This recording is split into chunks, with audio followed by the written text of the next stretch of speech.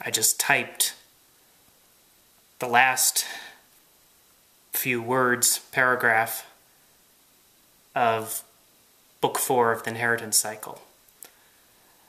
I'm having trouble actually putting any of this into words because I've been working on this book and this series for so long, I, I can't even really wrap my head around the fact that it's actually, it's done. It's, I just wrote it. It's done. The end. This has been just an amazing journey. Uh, book four, for both some creative and some personal reasons, has been the hardest book of the series to write.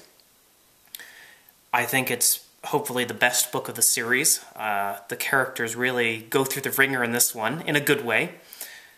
And I've just been, I've had a great time writing it. It's been very difficult to write, but I've, I've really enjoyed the story.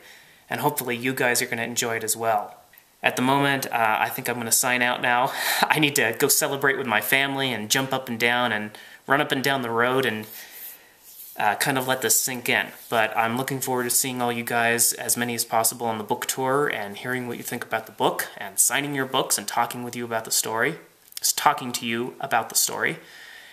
And uh, as Eragon would say, and this is going to be one of the last times I think I can really properly say this, as Eragon would say, Sioner Sverdar Sitya Havas. May your swords stay sharp. Here we go. Backing up Book 4, Inheritance of the Inheritance Cycle, to go off to Random House and deliver this to my long-suffering editor, Michelle Frey. Hey! Is this it? This is it. Oh my gosh, I cannot believe it. Here it is. Big stack of papers, huh? No kidding. Congratulations. Now we gotta finish this thing up. Exactly. Get it to the fans. That's right.